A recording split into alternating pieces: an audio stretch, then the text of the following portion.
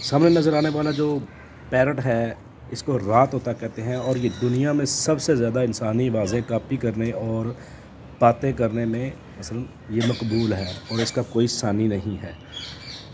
इसको जनाब, इसका इंग्लिश नेम जो है वो अलेक्जेंड्राइन पैराकीट है और इसको रॉ पैरट भी कहते हैं, कश्मीरी तोता भी कहते हैं, पहाड़ी तोता भी कहते हैं। आपके ज़हन में जो भी सवाल हैं वो आज मैं क्लियर कर देता हूँ, सिर्फ़ आप अगर शौक़ के लिए हैंड टेम यानी कोई बातें करने वाला तोता रखना चाहते हैं, या आप इससे ब्रीडिंग करवा कर इसके बच्चे पाल कर बिज़नेस करना चाहते हैं तो भी इसकी मुकम्मल इन्फॉर्मेशन मैं देने वाला हूँ। अगर आपने मेरी पूरी वीडियो देखी तो आपको इन इससे बहुत फ़ायदा होगा। तो आपके जहन में जिस इस तरह के सवाल होंगे कि बच्चे लें या ब्रीडिंग ब्रीडर पेयर लें बॉक्स साइज़ क्या हो केज साइज़ क्या हो, खुराक में क्या खाता है, अगर आपने रखे हुए हैं लेकिन अंडे बच्चे नहीं दे रहे तो फिर क्या करें? तो अगर आपने जनाब, मेरी एक ही रिक्वेस्ट होगी, आपने पूरी वीडियो देखनी है, अगर वीडियो अच्छी लगे तो क्या मेरे चैनल को ज़रूर सब्सक्राइब कीजिएगा। तो सबसे पहले जनाब, जो रात होता होता है, ये दरमियाने साइज़ का एक खूबसूरत परिंदा है। काठे तोते या रिंग नेक से साइज़ में बड़ा होता है। रिंग नेक की तरह शोर शोर नहीं करता। ठंडे मिजाज का होता है। बहुत ही जहीन तोता है और इंसानी आवाज़ें और बोलने में इसका कोई सानी नहीं है। रिंग नेक सिर्फ़ चंद अल्फाज अपने हाफजे में महफूज कर रखता है, जबकि रात होता बहुत ज़्यादा बातें करता है। इंसान से बहुत जल्दी मानूस हो जाता है। बातें करने की वजह से दुनिया में बहुत ही मकबूल है और हर एक की ख्वाहिश भी है कि मेरे पास ये तोता हो। अगर आप इसकी जनाब बात करें तो इसका जो साइज़ जो ना इसका नॉर्मल साइज़ जो है वो तकरीबन पच्चीस इंच तक होता है। इसका नाम अलेक्जेंड्राइन पैराकीट इसलिए है कि अलेक्जेंडर दी ग्रेट इस अपने जो बताया थे उनको, या जो जिनके काम से भी खुश होता था, उनको एज ए गिफ्ट के तौर पर देता था। India, Sri Lanka, Pakistan, Spain, England में सबसे ज़्यादा पाया जाता है। जब जंगलों में रहता है तो तकरीबन तीन हज़ार फुट की बुलंदी पर रहता है। इसकी एवरेज एज की बात करें तो तकरीबन इसकी एवरेज एज चालीस से पचास साल तक होती है। चार मास से एक साल तक ये तकरीबन एग्रेसिवली बिहेव करता है। अगर आप खामोश तबाह हैं तो आप ये तोता बिल्कुल ना रखें, क्योंकि ये बहुत बातें करता है और अपना मसलन माहौल बना के रखता है। चालीस हज़ार से एक लाख तक तकरीबन इसका एक पेयर मिलता है, अगर ये बोलने लग जाए तो। ब्रीडिंग सीज़न जो होता है, जिसमें ये अंडे देता है, वो तकरीबन नवंबर से अप्रैल होता है, सर्दी में देता है सिर्फ़ अंडे। और मसलन जो ब्रीडिंग करता है, सिर्फ़ साल में दो दफ़ा ही करता है, यानी कि दो क्लच देता है आपको। एवरेज एग होते हैं, तीन से पाँच एग देता है और उनमें से एवरेज जो बच्चे निकलते हैं वो तकरीबन तीन बच्चे एवरेज सर्वाइव करते हैं एक क्लच में। यानी कि पूरे साल में आपको ये छः बच्चे देता है। तो अट्ठाईस दिनों बाद बच्चे जो होते हैं वो अंडों से बाहर आ जाते हैं। ब्रीडिंग के लिए अगर आपने इसकी ब्रीडिंग लेनी हो तो आपके पास हर चीज़ मुकम्मल होनी चाहिए। आपके पास जो बर्ड हो, उनकी उम्र पूरी हो, केज साइज़ पूर सही हो, बॉक्स साइज़ ठीक हो, मेल फीमेल की खुराक जो है ना वो भी बिल्कुल ठीक होनी चाहिए। जब ये पैदा हो बच्चा जो होता है वो तीन माह के बाद सेल्फ हो जाता है। तो इसके बाद जनाब इसकी मैं बात कर देता हूँ, अगर आप शौक़ के तौर पर इसको रखना चाहते हैं तो आपने किन किन चीज़ों का ख्याल रखना है और आप किसी जैसे बिज़नेस करना चाहते हैं मसलन तो फिर आपने क्या क्या ख्याल रखना है? पहले बातें कर लेते हैं जनाब, अगर आप इससे मसलन बोलने के शौक़ के लिहाज की वजह से रखना चाहते हैं तो सबसे पहले इसकी खुराक की बात करें, जनाब, ये हरी सब्ज़ियाँ खाता है, फ्रूट भी खाता है, सब्ज़ मिर्च खाता है, सब्ज़ मिर्च इसकी फेवरेट होती है। जितनी ज़्यादा सब्ज़ मिर्च आप इसको खिलाएँगे, उतना ही ज़्यादा बातें करता है। मीठे फ्रूट जो होते हैं, वो ज़्यादा शौक से खाता है, उसमें सेब, अमरूद, खरबूजा, तरबूज वगैरह, ये बड़े शौक से खाता है। आप इसकी मसलन, अच्छी सेहत के लिए आप इसको छली बाजरा, मकई, गंदम, मिक्स सीड वगैरह दे सकते हैं। मिक्स सीड में बहुत सी चीज़ें होती हैं। सूर्यमुखी के बीज होते हैं, चीनी कमीनी इस तरह की चीज़ें होती हैं।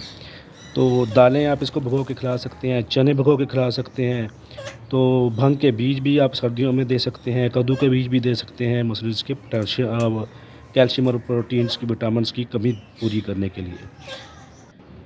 अगर आप बातें करने के मकसद के लिए रखना चाहते हैं तो बच्चा लें, यानी कि पट्ठा लें, सात माह से आठ माह का बच्चा वो तकरीबन आपको सात से दस हज़ार का मिल जाएगा। इसके पार आ चुके होंगे, उस वक्त हैंड फ़ीड करवानी पड़ेगी, ये आपसे मानूस होता जाएगा। जो जो आप इसको हैंड फ़ीड कराते जाएँगे, अपने हाथ से खुराक देंगे तो ये आपसे मनूस होता जाएगा। हैंड फ़ीड के लिए ज़रूरी होता है कि आपके पास एक सुरंज हो, जिस तरह बहुत बड़ी सुरंज होती है।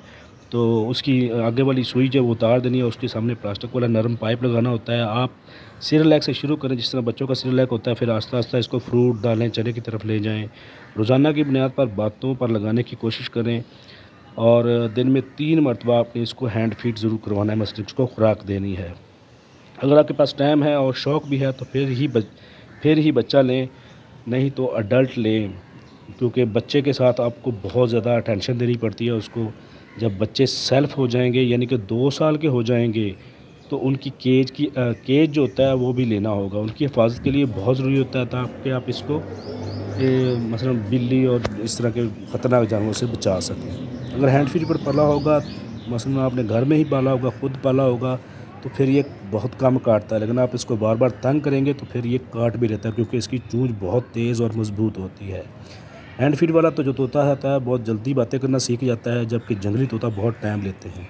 सात से आठ माह की उम्र में बोलना शुरू कर देते हैं सीटी मारना सबसे पहले शुरू करता है फिर आस्ता आस्ता घर में रूटीन में की जाने वाली बातें जो होती हैं उनको भी कापी करना शुरू कर देता है। मेल रात होता जो होता है वो आ, मेल रात होता जो होता है वो जल्दी सीख जाता है और ज़्यादा बातें करता है जबकि फ़ीमेल जो होती है उसमें टाइम लगाती है तो कि फ़ीमेल थोड़ी सी मूडी होती है मूड हो तो बातें करती है।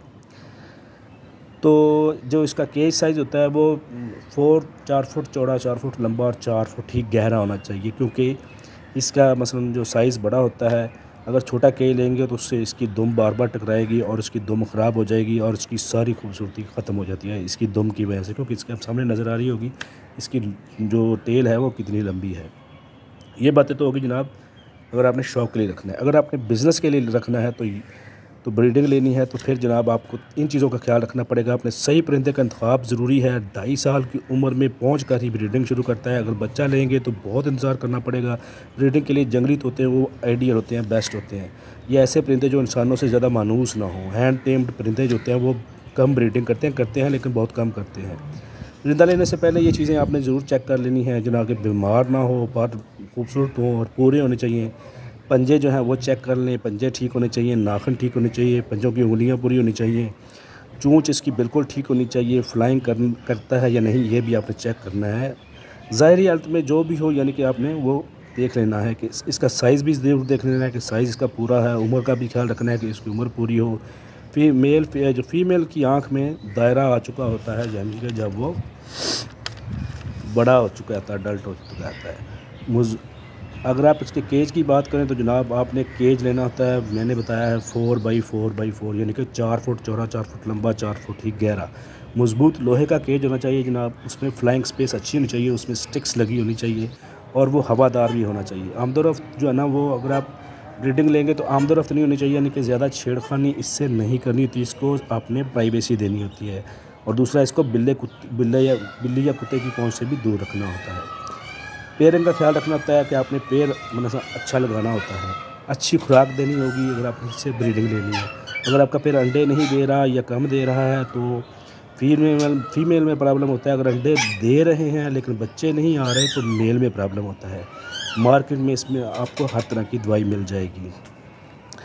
तो अगर आप बीमारी के लिए कोई भी बीमारियाँ आ गई हैं तो इसलिए C N F hundred use कर सकते हैं।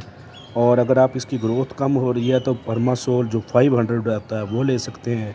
अगर इसके पर गिर रहे हैं तो जनाब मिनरल टी एस इसको आप दे सकते हैं। मिनरल विटामिन से भरपूर खुराक दें। ऑफ़ सीज़न में भी इसकी आपने ना खुराक का बहुत ख्याल रखना होता है।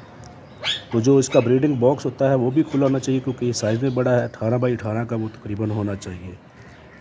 सफ़ाई जो होता है, उस उस पर कोई कंप्रोमाइज़ नहीं करना। जितनी सफ़ाई होगी, उतनी आपकी बर्ड्स की सेहत अच्छी रहेगी। आपने जब भी इसके अंडे लेने, अंडे रखने हो मतलब उस पर इसको बिठाना हो तो पॉकेट पाउडर से स्प्रे ज़रूर करें और नेस्टिंग मटेरियल उसमें डाल दें। बॉक्स जो होता है, वो ऊँची जगह पे लगाएँ और इसको जनाब अच्छा माहौल देना है आपको। तो ये थी तकरीबन इसकी मुकम्मल इन्फॉर्मेशन अगर आप शौक़ के तौर पर रखेंगे तो जनाब आप इससे बातें करेंगे तो आपको बहुत मज़ा भी आएगा। तो अगर आपको मेरी वीडियो अच्छी लगी हो इन्फॉर्मेटिव लगी हो तो कैंडली मेरे चैनल को ज़रूर सब्सक्राइब करना है। ये सामने देखें आपको जो बॉक्स नज़र आ रहा है, ये काफ़ी खुला बॉक्स है। इसमें मसलन ये ईजीली बैठा है और इसकी टेल जो है वो बिल्कुल मसलन टकरा नहीं रही। तो बातें करने में इसका कोई सानी नहीं है। जब आप इसको खुराक देंगे तो खुराक देते वक्त आपने आस्ता आस्ता इसके सामने सीटी मारनी है और इसके सामने बातें करनी है तो ये आपसे बातें करता जाएगा। आस्ता आस्ता आस्ता आस्ता सीखाते जाएँगे। तीन माह से डेढ़ साल की उम्र इसकी आइडियल एज होती है बातें सीखने के लिए। जंगली तोते जो होते हैं, वो ब्रीडिंग के लिए ज़्यादा अच्छे होते हैं, लेकिन हैंड टेम जो होते हैं, जो आपने घर में पाला होगा, वो बातें सबसे ज़्यादा करेगा। तो आपने इसका बहुत सी चीज़ों का ख्याल रखना होता है। ये जो पानी होता है, इसके अंदर पड़ा होता है, वो आपने डेली बेसिस पे सुबह और शाम दो टाइम आपने फ्रेश पानी रखना होगा। पुराना पानी पड़ा रहेगा तो उसमें ये बीटे करते हैं और अपनी बीटों वाला पानी जब ये पी लेते हैं तो बीमार हो जाते हैं। बीमार हो जाएँगे तो आपका नुकसान हो जाएगा। तो ये चीज़ें जनाब आपने ज़रूर ख्याल रखनी है। दूसरा जो है ना, वो पॉट्स जो है ना, वो सॉफ्ट फ़ूड का अलग होना चाहिए और दूसरा मिक्स सीड का अलग होना चाहिए। सॉफ्ट फ़ूड में आप इसको दालें शाम को भुगो के रख दें 24 घंटे वो जब दालें हों, गंदम हो, या मकई हो, या जो भी चीज़ें इस तरह की हैं सॉफ्ट फ़ूड में, आप उसको 24 घंटे के लिए भिगो कर रख दें। जब वो नरम हो जाते हैं, हल्का सा उसको उबाल भी सकते हैं और उसके बाद इसको खिलाएँगे तो ये बड़े शौक़ से खाता है। तो ये सबसे ज़्यादा मसलन ये जो ना इसका देखेंगे तो इसकी जनाब साइज़ जो है ना, वो बड़ा आइडियल होता है। इसकी चूँच बड़ी तेज़ होती है। अगर आप इसको तंग करेंगे तो ये आपको काट ले तो हो सकता है आपको ज़ख्मी भी कर सकता है। अब इसकी, आप देखें जनाब, ये चूँच मार रहा है। पानी पीने की पोजिशन में है, पानी पीने लगा है। तो अगर आप इसको पानी वाले बर्तन जो है ना, गर्मियों में, वो आपने इसको देने हैं, मट्टी वाले बर्तन। और ये देखें सामने, सेब शेब जो फल फ्रूट पड़ा है। इसको ये खाएगा बड़े शौक़ से। अगर आपको मेरी वीडियो अच्छी लगी है तो फाइनली मेरे चैनल को ज़रूर सब्सक्राइब कीजिएगा। वीडियो को लाइक और शेयर भी कीजिएगा। Thank you very much